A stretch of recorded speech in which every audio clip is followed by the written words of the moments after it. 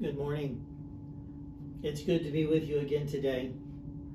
This is the week before Christmas, and we can all say that it's a very different Christmas for a lot of different reasons. So many things are changing in the world around us, and it can be confusing, it can be a little bit frightening, but we all have, we all have to understand that we still have a God who ultimately is in control of everything. So this morning, we're going to take a little bit of time and we're going to share a little bit about what God has given for us to be reminded of in this Christmas season.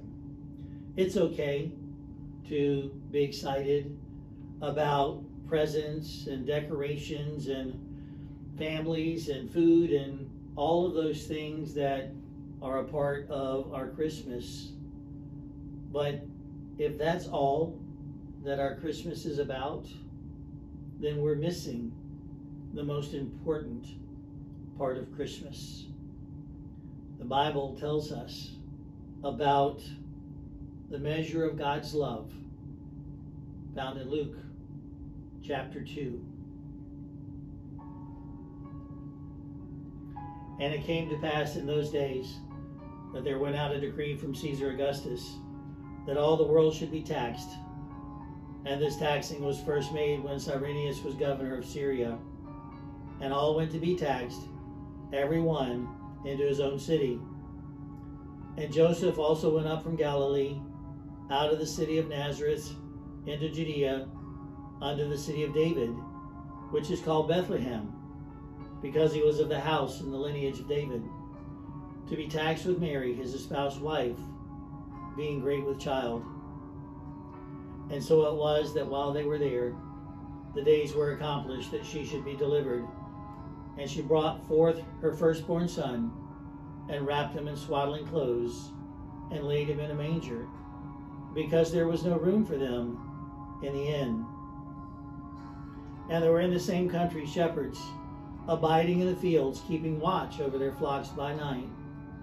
And lo, the angel of the Lord came upon them, and the glory of the Lord shone round about them, and they were sore afraid. And the angel said unto them, Fear not, for behold, I bring you good tidings of great joy, which shall be to all people. For unto you is born this day in the city of David a Savior, which is Christ the Lord. And this shall be a sign unto you. You shall find the babe wrapped in swaddling clothes, lying in a manger. And suddenly there was with the angel a multitude of the heavenly host, praising God and saying, Glory to God in the highest, and on earth peace, goodwill toward men. And it came to pass as the angels were gone away from them into heaven, the shepherds said one to another, Let us go even into Bethlehem, and see this thing which has come to pass, which the Lord has made known unto us. And they came with haste, and found Mary, and Joseph, and the babe lying in a manger. And when they had seen it, they made known abroad the saying which was told them concerning this child.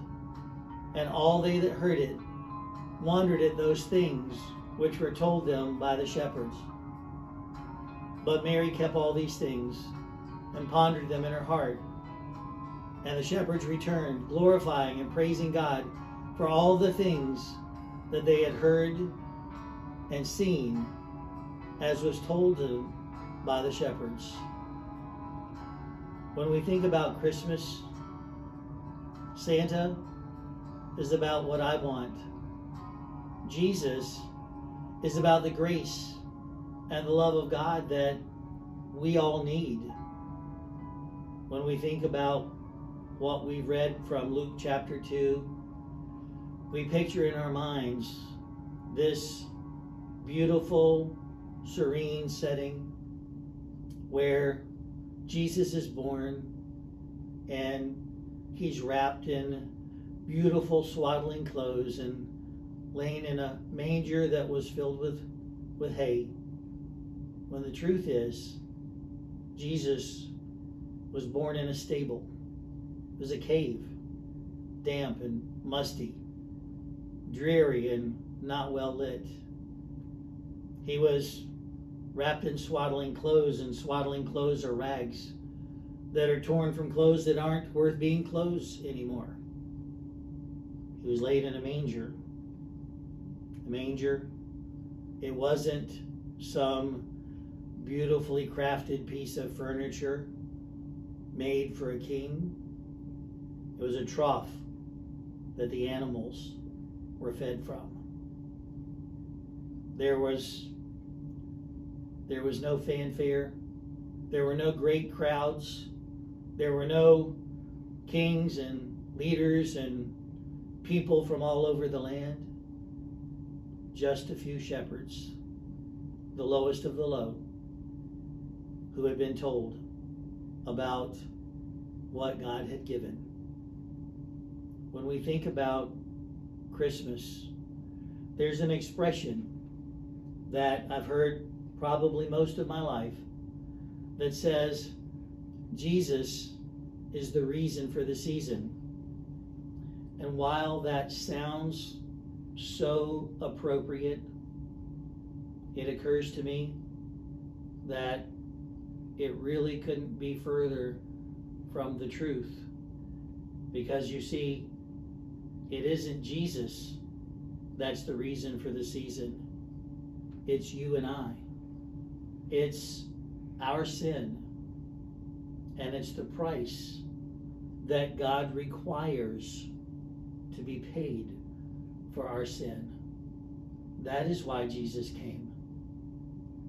He came for us. He died for us so that we could be forgiven and so that we could have a home forever with Him and with His Father in heaven.